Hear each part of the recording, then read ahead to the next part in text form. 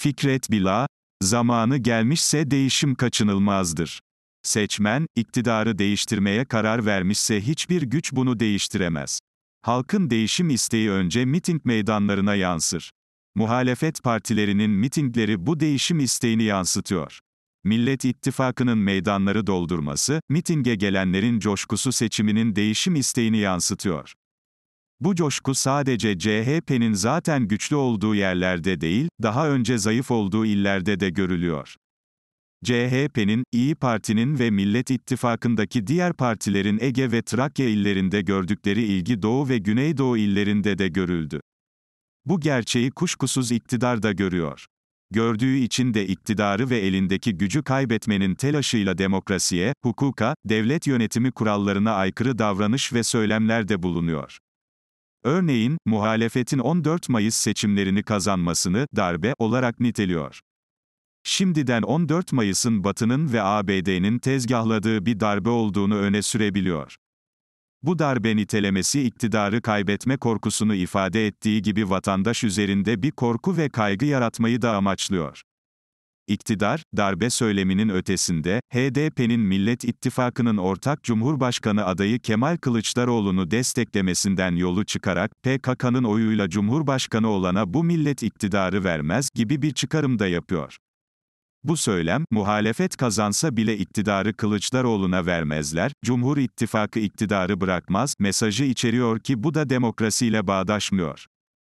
Demokrasi iktidarın seçim yoluyla değişmesine dayanır. Seçimi kazanan iktidar, kaybeden muhalefet olur. Demokrasinin özü budur. Türkiye demokrasiyle yönetildiğine göre iktidarı şuna vermezler, buna verirler demek bu söylemi kullananların demokrasiye inanmadığını gösterir. HDP'nin Millet İttifakı'nın adayına dışarıdan vereceği desteği PKK terör örgütüyle aynı görmek doğru bir yaklaşım değildir. Ayrıca böyle bir suçlamayı yapacak en son parti de AK Parti'dir.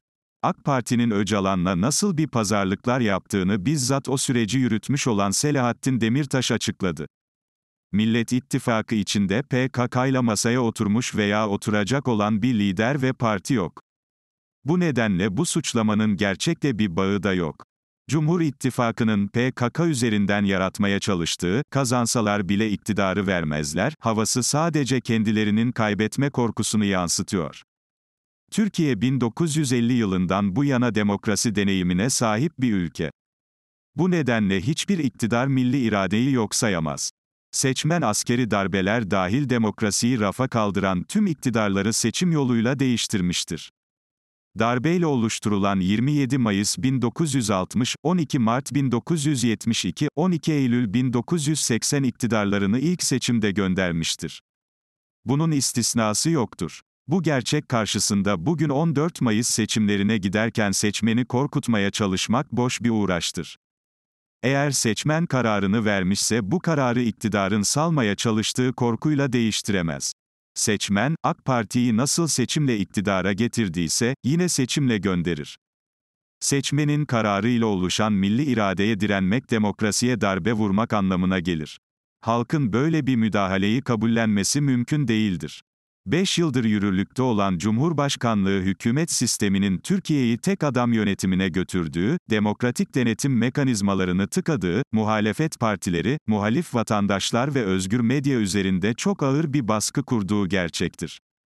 Bir diğer gerçek ise bu 5 yıllık yönetim döneminde Türkiye'nin insan haklarından ekonomiye, basın özgürlüğünden vatandaşın ifade özgürlüğüne, kadın haklarından dış politikaya kadar bütün alanlarda gerilediği, bu konularda dünya sıralamasında çok arkalara düştüğü bir gerçektir.